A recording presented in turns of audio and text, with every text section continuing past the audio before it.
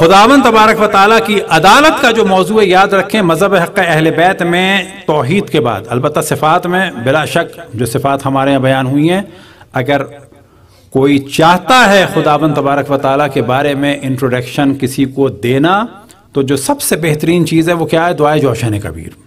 हज़ार तरीक़े से खुदावन तबारक व ताली का उसमें इंट्रोडक्शन है। हज़ार तरीक़े से खुदावन तबारक व ताली के असमाओ सिफ़ात हैं। हज़ार। ना एक, ना दो। हज़ार। ये जहन में रखें दुआ को मैल एक मौजू है, वहाँ पर जुमले हैं खुदावन तबारक वाली से।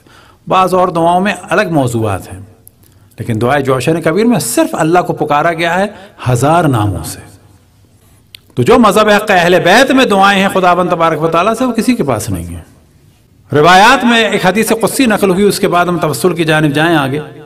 लो अलमल मुतबरून कैफ़ा इश्तियाकी बहम लामातू शौक़ा अल्लाह सुबहाना व ताली का इरशाद हदीस कुस्सी में अगर मुझसे मुँह मोड़ने वाले ये जान लें कि मैं कितना उनका मुश्ताक हूँ मुझे कितनी मोहब्बत है उनसे और उनसे मुलाकात की कितनी मोहब्बत है तो वो मेरे इश्तियाक में उनका दम निकल जाएगा अगर उनको ये अंदाज़ा हो जाए कि मैं कितनी मोहब्बत करता हूँ और मुझे कितना अच्छा लगता है कि ये लोग मुझसे बात करें, मैं इनसे बात करूँ। लो कई फ़ाश्तयाक़ी बहम लमाउतु शौक़ा। अगर मुझसे मुँह मोड़ने वाले ये जान लें कि मैं कितना इनका आशिक हूँ, इनकी मुलाकात का तो इनका दम निकल जाए। लिहाजा वाजिब नमाजें बिला शक पढ़नी है। कोई उसमें वो नहीं है। हम यहाँ वाजिब नमाजों का सब्सिट्यूट नहीं बयान कर रहे हैं। हर हाल में पढ़नी है लेकिन अगर किसी को वाकन हिम्मत नहीं हो रही और अल्लाह ना करे किसी की नमाजें कोई नहीं पढ़ रहा, कम से कम कभी ना कभी किसी जगह पर तन्हा बैठकर खुदाबंद तबारक वाली से कोई भी बात करे, हल्के हल्के उसका शौक डेवलप होगा कि वाकन अल्लाह के साथ बात करने का लुत्फ ही अलग है। और फिर अगले मरहले में मासूम सलाम से बात करे कि जो तवसल है। लेकिन ये जहन में रहे कि खुदाबन तबारक वाली आदिल है। धमकियाँ नहीं लगानी है खुदाबन तबारक वाली को। माजल्ला माजल्ला, बाज लोग कहते हैं, अगर नहीं किया तो मैं ऐसा करूँगा। ना ना ना। उसको ऑर्डर नहीं देना है। अदालत का तकाजा यह है कि हम उसे आदिल मानते हैं जो उसने कर दिया, उस पर खुश हैं। चाहे थोड़ी देर के लिए मुश्किल हो, लेकिन उसके बाद हमें शुक्र करना है। लिहाजा रोना अलग मौजू है। इंसान बेशक रोए, लेकिन खुदावन तबारक व ताली से नाराज़ी ना हो, उस पर एतराज़ ना करे, उसकी अदालत को चैलेंज ना करे। ये ना कहे कि मैं ही रह गया था। हमारे ही घर देख लिया है। बाज़ लोग ऐसे कुफरान की बातें करते हैं। यही कैफियत हो मासूम सलाम से तवसल की, कि हमारा काम है तवसल करें, चाहे चालीस साल तवसल हो। नतीजा निकले, ना निकले तो भी तवसल करें। एक दफ़ा आयतुल्लाजमा बहजत से खुद मुझे याद है, उनके घर में ही मैंने सवाल किया और उस वक्त मेरी एज ज़्यादा ज़्यादा पच्चीस या छब्बीस साल थी। कि बाज़ दफ़ा दुआएँ करते करते इतना तवील अरसा गुजर जाता है और दुआ कबूल नहीं होती तो दिल तंग सा हो जाता है। तो आगा बहजत ने हँसते हुए कहा, क्या कभी ऐसा हुआ है कि तुमने पचास साल दुआ की हो और कबूल ना हुई हो? अब मैं खुद पच्चीस से छब्बीस साल का। लेकिन जैसे उन्होंने जुमला कहा तो फ़ौर जहन में आया कि वाकन अम्बिया सलाम पूरी पूरी उम्र दुआ करते थे। क्या हज़रत इब्राहिम ने हज़रत इस्माइल, हज़रत इब्राहिम ने बच्चे के लिए दुआ? जब निन्यानवे साल में की तो क्या पचपन साल में नहीं की होगी? क्या पैंतीस साल में नहीं की होगी? पैंतालीस में नहीं की थी? अब आप तस्वुर करें कि ये जो हमारे जहन में है कि अम्बिया की दुआ फ़ौरन कबूल होती है, ऐसा नहीं है, कबूल होती है। लेकिन अल्लाह सुबहान व ताली के हाथ में अब हज़रत इब्राहिम को अल्लाह सुबहान व ताली ने कब बच्चा दिया? तकरीबन निन्यानवे साल में। तो अगर कम से कम भी, ज़्यादा से ज़्यादा भी उस ज़माने के हिसाब से पच्चीस साल उम्र मान लें तो बाबा छब्बीस साल में दुआ की थी, उन्होंने नहीं की थी। सत्ताईस में, अट्ठाईस में, चालीस में, पचास में, साठ में, सत्तर में, अस्सी में अस्सी में भी नाउमीद नहीं हुए थे। और जब बच्चा मिला तो क्या हुक्म है? इसको छोड़ा हो पहले बयामान में।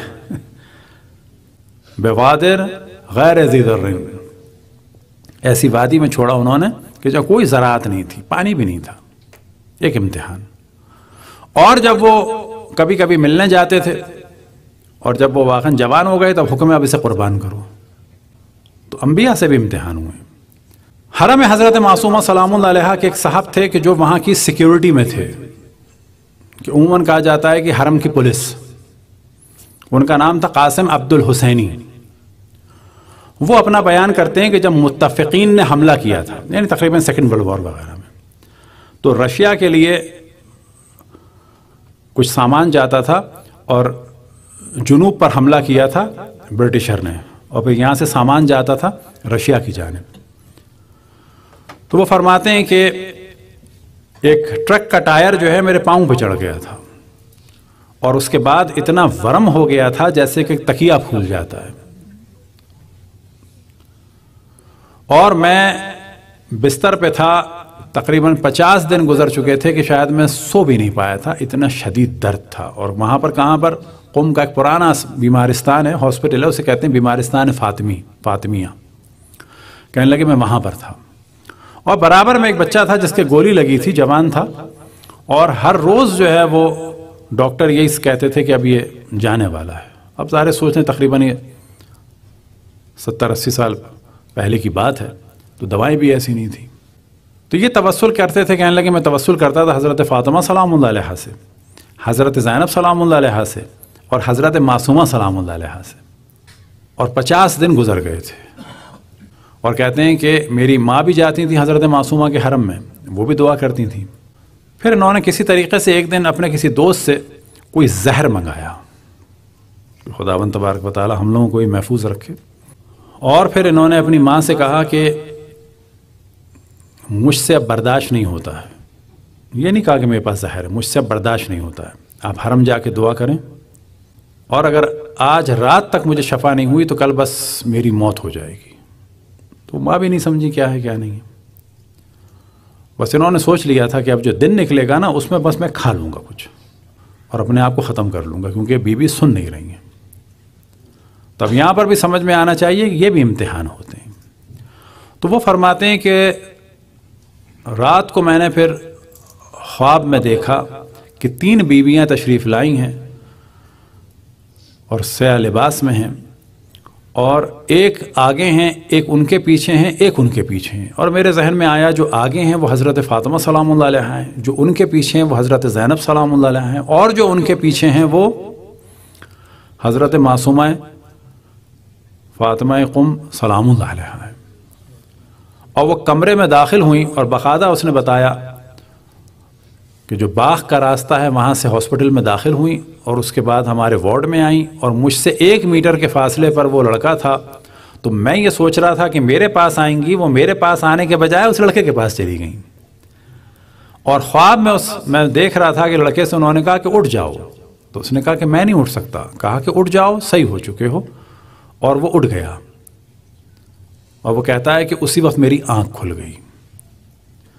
हाँ वो कहता है कि उस वक्त वो उड़ गया और ये लोग चली गई और मेरा दिल बड़ा टूट सा गया कि मेरी जाने में उन्होंने तवज्जो नहीं की। इस लड़के को शफा दे दी, मुझे नहीं दी, वो चली भी गई। कि जैसे ही वो गई और उसको सदमा सा हुआ तो उसकी आँख खुली। जब वो कहता है आँख खुली, तब यहाँ से देखें कि ऐसा ईमान होना चाहिए। उसने कहा कि, मेरी गलती है कि मैंने ऐसी बात की। लेकिन जब वो आई हैं इसको शफा देने तो ये बरकत मुझ तक भी ज़रूर पहुँची होगी।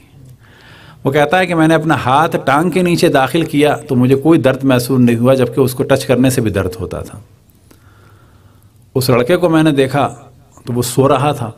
मैंने अपनी टांग को हरकत दी तो वो बिल्कुल सही हो गई थी। यहाँ तक कि मेरी माँ आई, और उससे पहले जो है, डॉक्टर्स आए इस बच्चे को उठाने, क्योंकि वो आते थे और देखते थे कि इसका दम निकला कि नहीं निकला। तो कहते हैं, मैंने कहा कि ये सो रहा है और बिल्कुल सही है। तो डॉक्टर और नर्सों ने कहा, तुम्हें कैसे पता? कहा कि देखें इसको उठा के। जैसे ही उठाया तो बच्चा बिल्कुल सही था। और बाद में जब माँ आई तो बताया कि मैं भी सही हो गया हूँ। लेकिन वो कहते हैं कि ये जो मेरा एक थ्रेट था कि मैं जहर खा लूँगा, ये वाली कैफियत ना हो। कभी हम अल्लाह सुबहाना हुआ ताला को धमकी दें कि अगर ऐसा नहीं हुआ तो ऐसा करूँगा। या कभी मासूमिन सलाम को धमकी दें, अगर ऐसा हुआ तो ऐसा नहीं करूँगा ना। अगर हमारा अकीदा है कि खुदाबंद तबारक व ताली आदिल है, और रसूल अल्लाह सल्लल्लाहु अलैहि वसल्लम और अम्बिया सलाम जो हैं, वो बेहतरीन मखलूक हैं, और रसूल अल्लाह सल्लल्लाहु अलैहि वसल्लम के खलफा हैं, कि जो सबसे अली मकाम पर बाद अशरफुलम्बिया फ़ाइज़ हैं तो ये जान लेना चाहिए कि जो हमारे लिए ये फ़ैसला कर रहे हैं, वही हमारे लिए बेहतर है, चाहे वो जल्दी हो, चाहे वो देर में हो, चाहे वो हो और चाहे वो ना हो। फ़कत जब हम दुआ करते हैं तो इतना हमें सवाब मिलता है कि रवायतों में नकल हुआ कि रोज़ क़यामत जब नाम आमाल मिलेगा तो लोग परेशान हो जाएँगे कि ये हमारा नाम आमाल कैसा है। तो ये तो हमने आमाल नहीं किए थे तो जवाब आएगा, ये नतीजा है उन दुआओं का जो कबूल नहीं हुई थी। लेकिन तुम अल्लाह सुबहाना व ताली से बदगुमान नहीं हुए। तुमने दुआ मांगना छोड़ा नहीं, उससे राज़ी रहे। जो दुआएँ कबूल नहीं हुई थी, उनके बदले ये सवाब है। तो लोग कहेंगे, काश हमारी कोई दुआ कबूल ना हुई होती। एन यही जजा मिलेगी कि हमें कभी भी दिल बर्दाश्ता या नाराज़ नहीं होना चाहिए मासूमीन से कि हमारी बात को नहीं सुना, बल्कि ये समझना चाहिए कि अल्लाह का यही शुक्र है कि जब परेशानी आती है तो हम अल्लाह को याद करते हैं और मोहम्मद वाले मोहम्मद से तवसल करते हैं। किसी भी अल्लाह के और रसूल और अहल बैत के दुश्मन की जानब नहीं देखते हैं। सलवात पढ़े पर मोहम्मद व आल मोहम्मद।